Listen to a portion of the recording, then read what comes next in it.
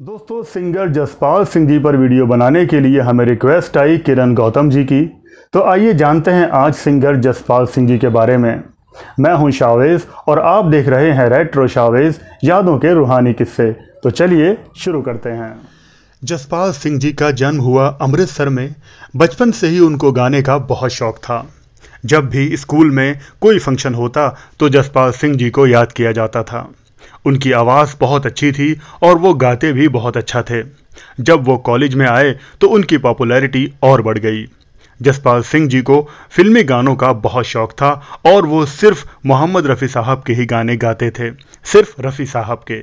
ओ दुनिया के रखवाले और भरी दुनिया में आखिर दिल को समझाने कहाँ जाएँ, ये दो गीत वो बहुत ज़्यादा गाते थे। जब जसपाल जी से पूछा गया कि आप मोहम्मद रफ़ी साहब के गाने ही क्यों गाते हैं तो उन्होंने कहा कि मोहम्मद रफ़ी तो मेरे अंदर घुस चुके हैं। वो मेरी आत्मा में समा चुके हैं और मैं उनको बहुत पसंद करता हूँ। जसपाल सिंह जी को गाने का शौक मुंबई ले आया। हालाँकि जसपाल जी ने लॉ की डिग्री भी हासिल की हुई थी, मगर उनको तो सिंगर बनना था। और जसपाल सिंह जी को पहला ब्रेक मिला 1969 में। फ़िल्म थी बंदिश, म्यूज़िक था उषा खन्ना जी का। उषा खन्ना जी ने ही पहला ब्रेक दिया था जसपाल सिंह जी को और उनकी गायकी की बहुत तारीफ़ भी की थी। फ़िल्म बंदिश का वो गाना था, देखो लोगो ये कैसा ज़माना, संभालो संभालो हुआ मैं दीवाना। उसके बाद उषा खन्ना जी ने जसपाल सिंह जी को एक और गाना दिया, जो कि उन्होंने महेंद्र कपूर जी के साथ गाया।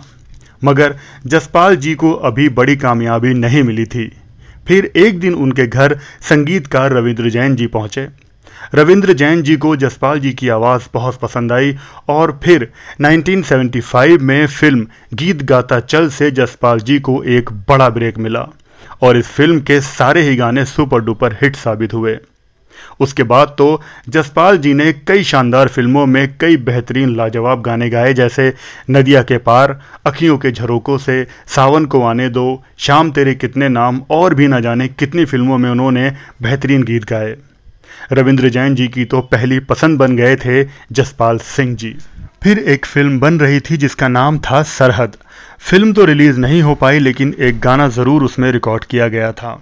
जिसमें संगीत था लक्ष्मीकांत प्यारेलाल जी का। इसमें जसपाल सिंह जी को पहली बार अपने पसंदीदा गायक मोहम्मद रफ़ी साहब के साथ गाने का मौका मिला। फ़िल्म सरहद का वो गाना था, फूलों के बसंती गहने, धरती की दुल्हन ने पहने। रफ़ी साहब के साथ ये गाना गाकर जसपाल सिंह जी की आँखों में आँसू आ गए थे। उनको यकीन नहीं हो रहा था कि वो मोहम्मद रफ़ी साहब के साथ गा रहे हैं, जिनके वो इतने बड़े फ़ैन हैं।